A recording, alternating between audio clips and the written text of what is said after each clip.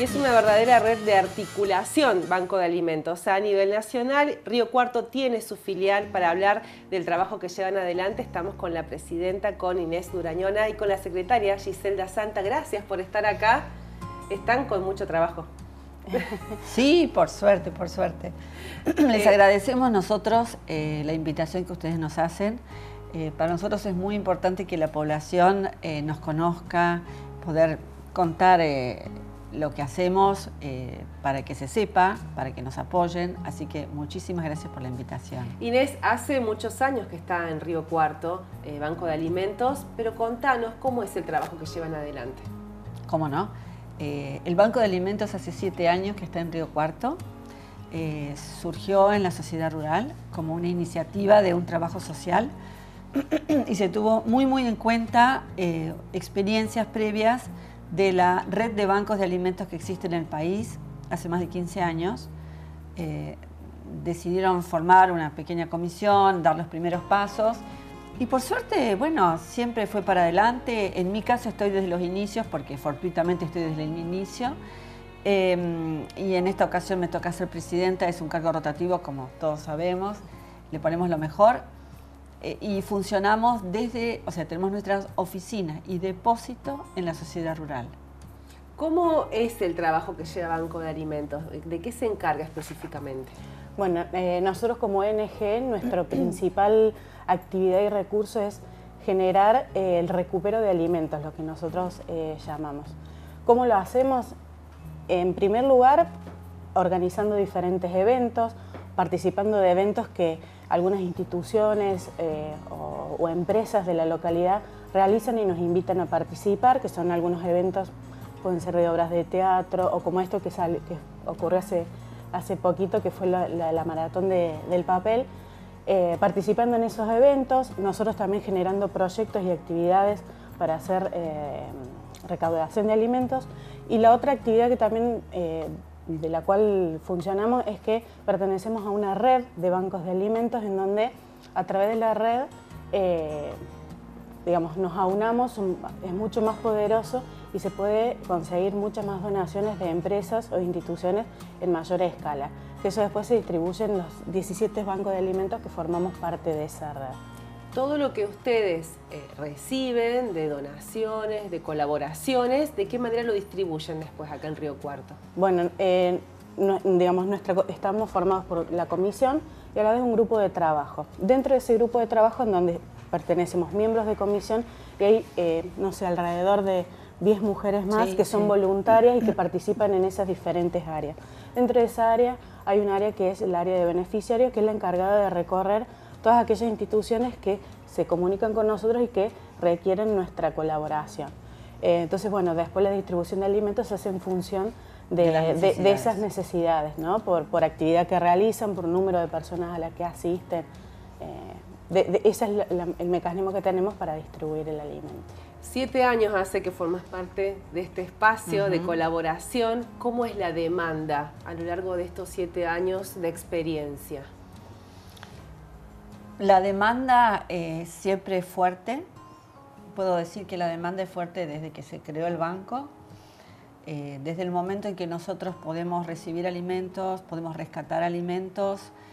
Eh, lo que es muy, muy importante y que Giselda comentó es el trabajo que se hace eh, visitando las distintas entidades de la ciudad. En este momento tenemos, y lo venimos haciendo desde prácticamente desde que el banco se fundó, en este momento tenemos 40 instituciones regulares, o sea que en forma regular, mensual, le, entregamos alimentos. 40 instituciones en la ciudad. Sí. Es muchísimo. Y hay muchas más. Hay muchas más. Hay muchas más. Lo que sucede, podríamos abarcar más, no sé. Nosotros que es un trabajo importantísimo. Permanentemente se visitan las instituciones, se ve en qué condiciones están de aseo, de instalaciones, a cuántos niños, adultos, personas mayores o qué bolsones dan. O sea, hay un trabajo muy importante de estudio permanente de a dónde va y cuáles son las necesidades. no se trata solamente de ir y dejar un paquete, sin dudas. No, no, no, Y a medida que, imagino, van conociendo más de cerca, se van interiorizando más las necesidades, se van comprometiendo ustedes también. Totalmente, totalmente. Es imposible, ¿no? De separarse de, todo lo que uno va vivenciando. Es que justamente eh, lo que no hay que perder jamás es lo que nos motiva, que es reducir el hambre y mejorar la calidad de la persona. Una buena nutrición y en lo posible desde que nace un bebé, de un niñito, hace que ese niñito se desarrolle, hace que ese cerebro pueda desarrollarse en su total capacidad y que culturalmente, más o menos de lo que pueda recibir, sea una persona eh, con una capacidad de desempeñarse en la vida, ¿Qué es lo que estamos buscando. Entonces, nunca, nunca, nunca dejar de lado el objetivo básico y principal que es atender a las personas. Eh, ustedes lo mencionabas, eh, Giselda, trabajan con voluntarios. ¿De qué manera se puede colaborar con Banco de Alimentos? Eh, bueno, hay muchas maneras de colaborar, desde aportando una simple idea, participando en los grupos de trabajo. Eh, nosotros en el año hay algunas actividades fuertes donde requerimos muchos voluntarios, que la colecta. Exacto. Y como yo siempre digo, que si bien como Banco de Alimentos pedimos la colaboración de un alimento no perecedero, en algunas ocasiones estamos pidiendo una colaboración económica, con, eso que se recauda se compran alimentos de mejor calidad. Eh, me preguntaba de cómo se puede colaborar, desde ideas, formando parte del equipo de voluntarios, eh, inscribiéndose en nuestra lista de voluntarios para participar de esos eventos grandes que tenemos en el, año, como son las dos colectas anuales que tenemos, que ahora en el segundo semestre del año eh, se van a dar. con tiempo para estar en el depósito, si bien nosotros recibimos alimentos eh, o camiones de alimentos que vienen de Córdoba, de Buenos Aires, ese alimento que llega hay que procesarlo, hay que mirar el estado eh, de los envoltorios, fechas de vencimiento, porque todo lo que se entrega se entrega con el aseguramiento de que esté en condiciones de ser consumido. Entonces, bueno, eh, voluntarios se necesitan, desde una idea hasta colaboración en el depósito para ser el clasificado. Perdón, hay algo que, que uno no puede no verlo desde afuera, pero el movimiento de los alimentos en el volumen que de repente manejamos es importantísimo. Algo que siempre nos cuesta es tener fletes. En la medida en que nosotros tenemos un buen flete, de repente podemos recibir un camión de alimentos. Eh, hace poco trajimos, que los bajamos nosotras, ¿no? Eh, y me encanta eso, 1900 potes de postrecitos y yogures. 1900, que lo bajamos bandejita por bandejita. Eh, y poder traer, porque en el país se recupera muchísimo. El año pasado, eh, yo leí que vos en algún momento lo comentaste, recibieron 53 mil kilos de donaciones. O sea, entregamos en la ciudad, perdón, entregamos en la ciudad de Río Cuarto 53 mil kilos de alimentos no perecederos. Eh, y bueno, acá se va marcando esto que hoy mencionabas, Inés, ¿no? la necesidad de gente que colabore, porque ese número dimensiona todo lo que hace falta para llegar a ese destino final, que es el que busca en definitiva la ONG, que llegue a la persona que lo está necesitando. Totalmente. Inés, Te, comentaba recién, les comentaba que eh, trabajamos con 40 entidades que hoy representan el número de personas, 6.200 personas. Y sabemos que hay muchas más personas que nos necesitan.